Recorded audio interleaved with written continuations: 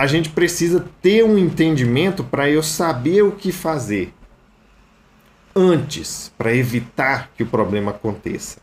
E aí eu quero trazer essas informações então para você. Primeira coisa é você relembrar no seu pensamento o que é o esmalte, o que é a dentina.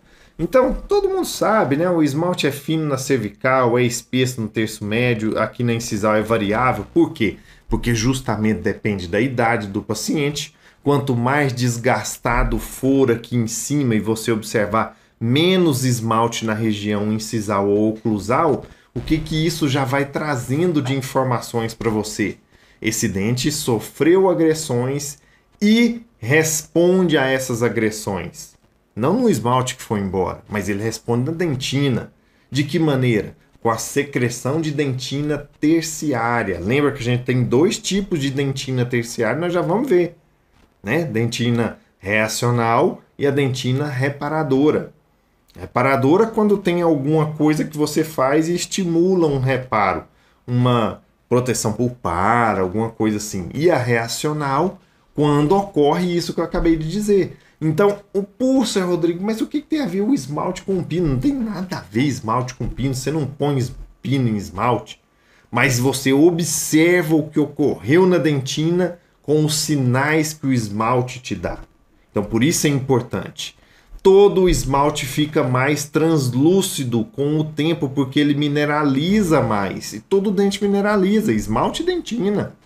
Então, se você observa naquele seu paciente mais velhinho, aquele dente mais amarelão, qual é a constatação que você tem? Putz, aqui mineralizou pra caramba. Se você entende isso, sabe enxergar isso, você vai ter andado um, um monte na frente de muitas pessoas que não saberão constatar esse detalhe. E essa constatação desse detalhe vai te trazer informações belíssimas no momento de fazer a restauração de um dente tratado endodonticamente, como nós vamos enxergar. Então, o que, que eu vou perceber no meu, o que, que eu vou ter que buscar perceber no meu paciente? Esses dois sinais importantes. Primeiro, de desgaste do esmalte, o que significa que a dentina reagiu, certo? Ela vai produzir uma situação que nós já vamos enxergar, já vamos ver, e eu vou perceber também se o elemento está aparentando maior translucidez do esmalte, portanto eu enxergo mais a dentina, porque o esmalte mineralizou mais. Aí qual que é a minha, a minha visualização? Putz, Guilherme, desgastou, a dentina reagiu, mineralizou, eu, eu estou enxergando mais outro detalhe importante que vai contar a favor da mudança das propriedades mecânicas desse elemento. Então são essas duas características apenas que eu quero que você comece a perceber na evolução da idade dos seus pacientes, se você acompanha um paciente, ou então você já chegou mais velhinho, você vai bater o olho e perceber no esmalte. Beleza? Agora, nota aqui comigo o seguinte: esmalte, gente, já chega com altíssimo conteúdo mineral. Esmalte é 96% de mineral né? hidroxiapatita e alguns elementos adicionais aí. Então já é o tecido mais duro do corpo humano. Ele é, é duro e rígido, são duas coisas diferentes, mas é o tecido super rígido. Lembra de ontem? Rigidez significa que aquele material ele tem no gráfico lá de tensão, deformação, é reto. Então não é um tecido que suporta deformações elásticas importantes. Ele é altamente rígido. Então, se precisar, o danado vai quebrar. Quem que ajuda ele a suportar tudo? A dentina, que é macinha, certo? Então, olha a característica intrínseca do esmalte. O esmalte não tem buraco. É uma massa sólida formada por prismas que estão colados um no outro, coladinhos um no outro. Quando a fratura começa a ocorrer no esmalte, ela tende a ser muito, muito, muito mais fácil despregando um esmalte do outro do que é, um prisma do outro do que quebrando o prisma. Agora, se você pegar na melhor situação da resistência do esmalte, olha só que informação legal. você tem cerca cerca de é de 24 cerca de quase cinco vezes mais resistência flexural da dentina cinco vezes mais resistência flexural da dentina em relação ao esmalte. Olha só que loucura. Então é por isso que quando você tem aquele esmalte só cavado sem nada, ele é extremamente sujeito à possibilidade de fratura. Você tem que tomar muito cuidado para não quebrar. Não é tirar, mas é ter cuidado com o processo restaurador para preservar aquele restinho que ele existe. É super importante que fique o esmalte. Então tomar bastante cuidado, porque a dentina tem muito mais resistência. Só que tudo muda. E é isso que poucas pessoas analisam. Isso mesmo, Marcos. Dureza é resistência à penetração, não é resistência à fratura. Ah, não tem nada a ver uma coisa com a outra. É o que a gente conversou ontem, na aula de ontem. Agora vamos para dentina, porque eu estou falando que tudo muda. O esmalte mineraliza mais, ele fica mais translúcido, eu enxergo mais, ele desgasta, afeta a dentina. Show de bola, beleza? Já entendemos isso. Vamos agora, próxima etapa. Na dentina, o que, que aconteceu, Rodrigo? Quando é jovem, olha só, a primeira dentina secretada ela é opaca e branca. À medida que eu vou secretando mais, essa é a dentina primária, depois dentina secundária e terciária. Secundária que se forma naturalmente ao longo da vida. E a terciária, ela responde a algum tipo de agressão, seja uma agressão natural ou artificial. Né? Então, esse tipo de dentina aqui de baixo não é só a cor que é diferente é toda a estrutura dela é diferente. Então a gente tem algumas médias importantes, mas que ela vai se alterar, médias de composição que eu vou mostrar já para vocês, mas que vai se alterar ao longo do tempo. E isso vai trazer alterações importantes que tornam aquele dente eventualmente mais friável. Lembra do que é friável? A gente conversou ontem. Eu posso ter uma coisa super dura mas que ela quebra fácil. Friabilidade é quando o material não consegue ter deformação plástica. Ele não empena, ele começa e pum, estoura. Certo? Qual que é a característica da dentina? Se isso aqui, minha mão fosse dentina e essa mão fosse esmalte, esse esmalte seria assim duro e essa dentina seria uma coisinha mais macia aqui dentro uma esponjinha. Estou acelerando o processo, né? Devagando na maionese. Mas é uma esponjinha. Imagina você deitando num colchão.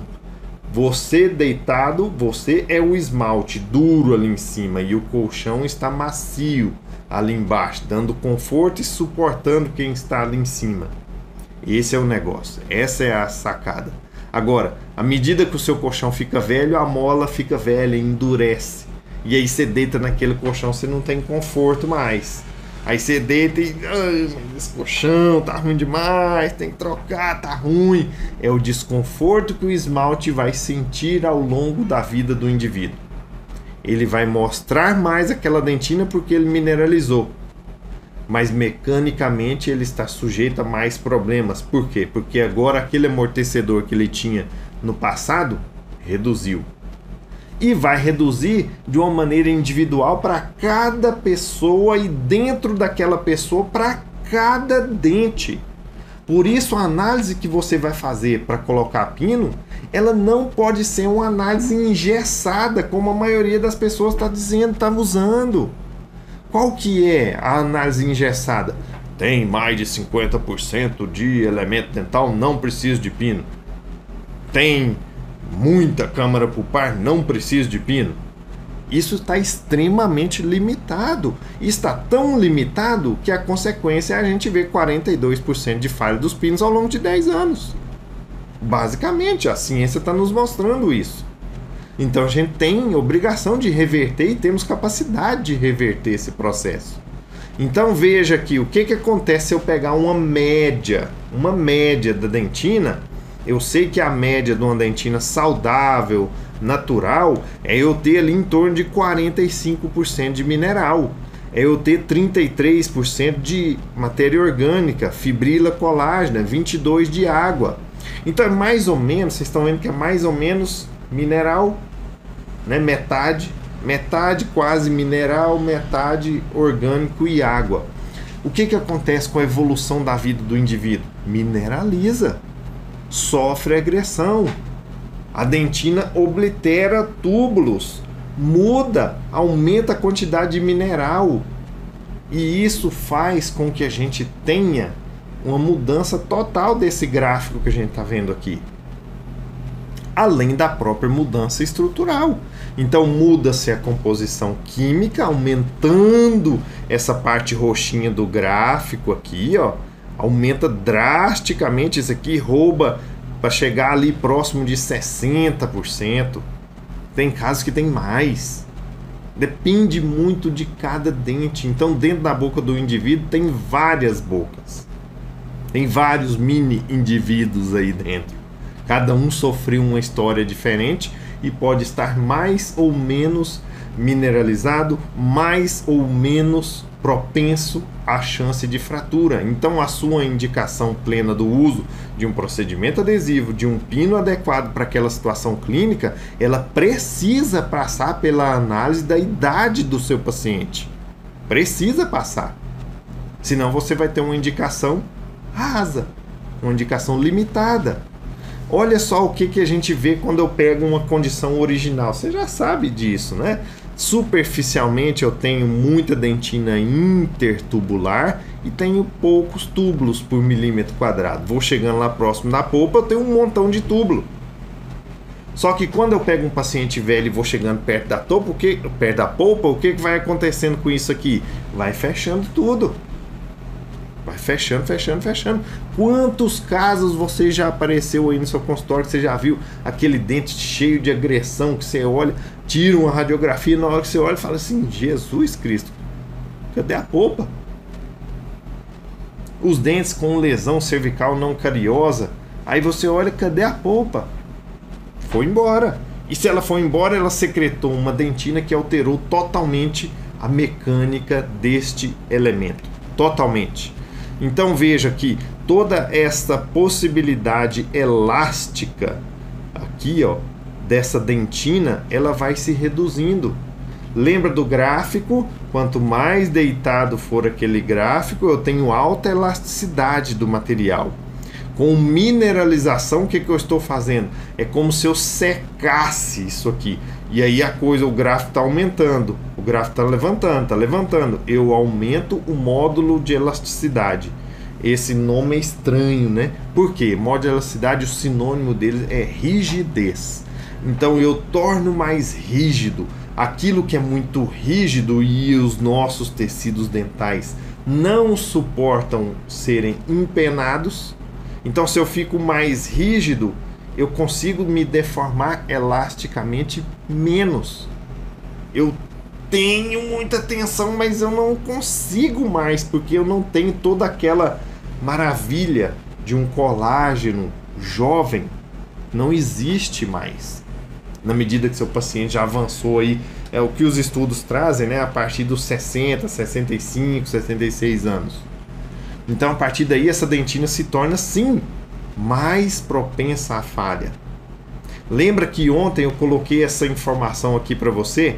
O que, que faz um dente ficar mais fraco e possivelmente fraturar mais fácil? A gente viu que existem esses fatores que a gente não controla, você como profissional, né? Você não controla isso, essa alteração química, alteração de composição estrutural, é, desidratação do elemento, você, você não mexe nisso. O paciente chega assim, é a vida dele. O que a gente controla é o que nós estudamos ontem e vimos alternativas para controlar.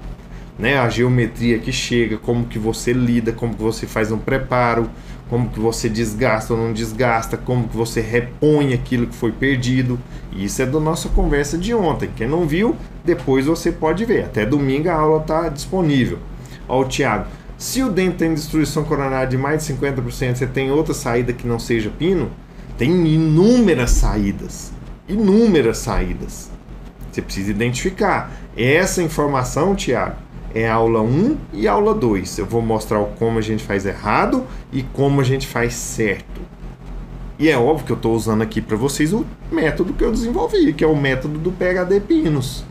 Né? Então aí você vai conseguir compreender essa questão, porque o nosso foco é no porquê, não é no como. O como é consequência do porquê. Ah, você está entendendo em todas essas aulas aqui comigo por que, que a coisa acontece. Isso é mais amplo. Isso abre a sua mente para te trazer mais conhecimento que faz diferença no seu dia a dia. Então veja, esses fatores que a gente não controla, eles vão alterar independente da sua vontade. Mas você vai conseguir agora ter noção de que eles ocorrem e perceber como você pode lidar com isso melhor. Olha só, esse estudo é do Duane Arola, maravilhoso, está publicado na Biomaterials.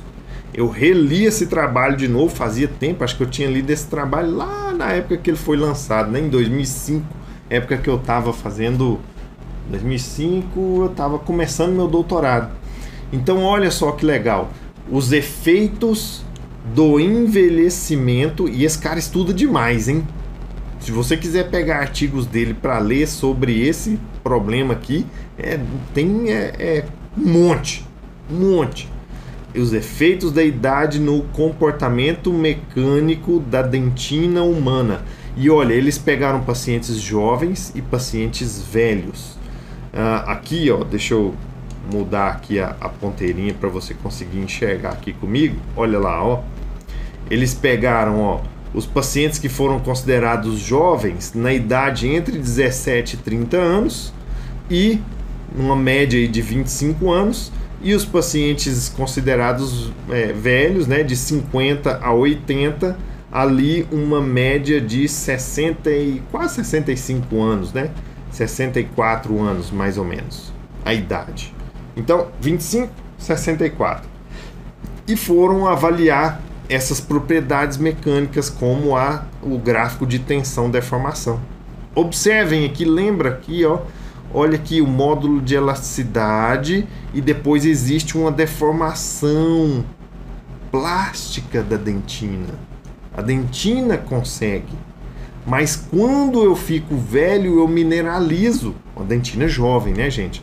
Uma dentina jovem, ela se deforma, ela tem pena um pouquinho retorna levemente. Mas na hora que você vai para uma dentina velha, não existe isso mais. Olha onde o gráfico interrompeu. É o mesmo padrão de unidades nos dois gráficos. Então interrompo aqui. É cerca de oito vezes mais fácil fraturar um elemento velho, um dente velho, do que um dente jovem. Por conta disso. Porque Quanto mais velho o dente fica, mais mineraliza. Menos hidratado aquele elemento fica. Não é consequência da endo ficar desidratado o dente, não. É consequência da alteração estrutural. Imagina aí que você vai fazer, sei lá, vou fazer um, um, um bolo. Um bolo não, vamos fazer um alginato, né? Que é mais fácil. bolo é difícil demais. Vamos fazer um alginato. Aí você põe a água lá na cubeta e aí você vem ali. Aí vamos supor que você botou só uma, um, uma medida de água. E você vem e põe uma colherinha de pó. Aí você mistura, vai ficar legal. Se você colocar duas colherzinhas de pó, aquela coisa fica seca. O que, que é esse raciocínio? O que, que é mineralização, gente? Eu estou aumentando o pó e tirando líquido. Então eu aumento a mineralização. Os estudos nos mostram que os dentes mais velhos eles potencialmente estão menos hidratados. Não é porque o cara tem menos saliva, é, não é nada disso. É justamente pelo fato de que tem mais mineral ali. Duas coisas não vão ocupar sempre, né? Nunca, na verdade, né? o mesmo espaço. Então é algo importante. O colágeno reduz os espaços interfibrilares. Fi... Nossa senhora fibrilares. então reduz. Imagina, você tinha uma cordinha e agora essa cordinha está toda travada. Então a possibilidade dela exercer aquilo que ela exercia na deformação, ela está travada, sedimentou. Então vai ser mais difícil. Olha aqui, resistência flexural em dentes jovens, em dentes velhos. Que eles mediram, esse estudo aqui mediu cerca de 80 megapascal e 140, é o dobro. O dobro de resistência flexural praticamente, de um dente jovem em relação a um dente velho. Ah, Cíntia. Ah, eu faço um bolo em 10 minutos. Sei. Mentira, quero ver foto, viu, Cíntia? Faz esse bolo aí, eu quero ver. Primeiro eu quero ver foto, depois eu quero provar. Não sei de onde você está falando, mas se eu tiver chance eu quero provar. Oclusão dos túbulos. Vou fazendo a minha dentina terciária. O que, que é dentina terciária? Alta mineralização ou oclusão dos túbulos. Não é? Então você fecha aquilo tudo. Tem menos espaço para ter até a danadinha da água. Por isso que o dente vai ficando mais quebradiço. Sim, fica. O que que isso então implica na gente colocar pinos? O que que a gente observa num idoso? Primeira coisa, você observa maior desgaste dental. É óbvio, isso, a não ser que o cara tenha perdido o dente, mas se não tiver perdido, aquele dente desgastou. Por quê? Porque usou. Usou a vida inteira, né? Então, agressões normais ou, eventualmente, até as parafuncionais ao longo da vida do indivíduo. Ocorreu. Menor hidratação dos tecidos, perda de elasticidade do colágeno, perda de periodonto de sustentação, não é? É normal. Ao longo da vida, reduz o osso, expõe mais a raiz, aumenta o braço de alavanca, fica mais desfavorável mecanicamente para aquele elemento. Menor habilidade motor em controlar a higiene, normal. Então começam a surgir os todos os defeitos né, que isso provoca. O tecido dental tem pior qualidade para adesão? Tem. Tem. Não significa que é, inutilizou a adesão. Mas, por exemplo, se você pega, vou fazer um teste, né? Vamos supor aí, você, ah, agora eu quero fazer um teste. E esse meu teste vai ser o seguinte: eu vou é, aplicar um material adesivo lá num dente para ver a resistência adesiva. Aí você precisa ter normas para fazer isso. Você vai pegar a norma da ISO. A norma da ISO pede terceiros molares até a terceira década de vida, no máximo quarta. Por quê? Porque é a melhor dentina para você fazer adesão. Aí você não tem o problema da dentina. Você quer isolar e quer testar só o seu adesivo. Então isso traz informação para nós o seguinte: é aquela dentina mais velha lá, realmente ela não é a bruta não para fazer uma adesão. Não é que não tem adesão. É porque é mais difícil de se fazer nela justamente por todas essas alterações químicas e estruturais que eu acabei de relatar aqui para você. O tecido dental é menos resistente e é mais frágil, quase 50% a mais.